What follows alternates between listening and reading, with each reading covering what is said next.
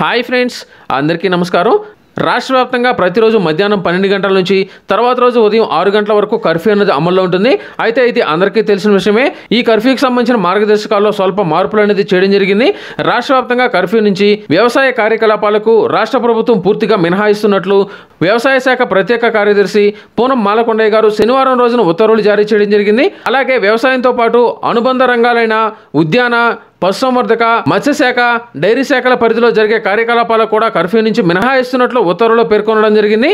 అలాగే వ్యవసాయ పనుల కోసం వెళ్ళే కూలీలతో పాటు పనిముట్లు యంత్ర పరికరాలు తరలించే వాటికి కూడా ఆటంకం కలగకుండా చూడాలని ఆదేశాలు అయితే ఇవ్వడం జరిగింది. అలాగే వ్యవసాయానికి అవసరమైన విత్తనాలు ఎరువులు పురుగు మందులకు సంబంధించిన షాపులు అలాగే క్రయ విక్రయాలకు సంబంధించి ఎటువంటి ఇబ్బంది కలగకూడదని ఆయన అయితే తెలియజేయడం జరిగింది. ఇందుకోసం అవసరమైతే ఈ యొక్క షాపులకు సంబంధించి ప్రత్యేకంగా పాసులు కూడా జారీ చేయాలని ఆయన అయితే తెలియజేయడం జరిగింది. వ్యవసాయ సంబంధిత షాపులు ఏవైతే ఉన్నాయో అవి విత్తన షాపులు కావచ్చు ఎరువు షాపులు కావచ్చు పురుగు మందు షాపులు కావచ్చు ఇలా ఏవైనా షాపులు కనుక వ్యవసాయ రంగానికి సంబంధించిన కనుక ఉన్నట్లయితే ఉదయం ఏడు గంటల నుంచి సాయంత్రం ఆరు గంటల వరకు తెరవచ్చని ఆయన అయితే తెలియజేయడం జరిగింది.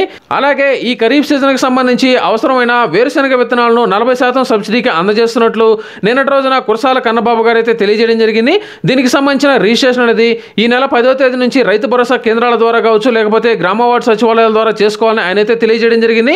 వీరందరికి సంబంధించి రిజిస్ట్రేషన్లు చేసే సమయంలో వేలిముద్ర కాకుండా ఓటీపీ విధానాన్ని అమలు చేస్తున్నట్లు ఆయన అయితే తెలియజేయడం జరిగింది. ఓటీపీ కనుక చెప్పిన చూసుకున్నట్లయితే మీకు సంబంధించి రిజిస్ట్రేషన్ ప్రాసెస్ అనేది చేస్తున్నట్లు వారైతే తెలియజేయడం జరిగింది. తప్పనిసరిగా ప్రతి ఒక్కరూ ఈ ఖరీఫ్ సీజన్కి సంబంధించి ఎవరైతే వేరుశనగ విత్తనాలు కావాలనుకుంటున్నారో అటువంటి వారందరూ తప్పనిసరిగా రిజిస్ట్రేషన్ అనేది చేసుకున్నట్లయితే నలభై శాతానికి ఈ యొక్క వేరుశనగ విత్తనాలు అందజేస్తామని ఆయన అయితే తెలియజేయడం జరిగింది. ఆల్రెడీ దీనికి సంబంధించిన వేరుశనగ విత్తనాలు కూడా సేకరించామని నిన్నటి రోజున ఆయన అయితే ఒక క్లారిటీ అనేది ఇవ్వడం జరిగింది. ఈ రోజు నుంచి వ్యవసాయ రంగాలకి అవసరమైన ప్రతి షాపును ఉదయం ఏడు గంటల నుంచి సాయంత్రం ఆరు గంటల వరకు ఓపెన్లోకి అయితే రావడం జరుగుతుంది.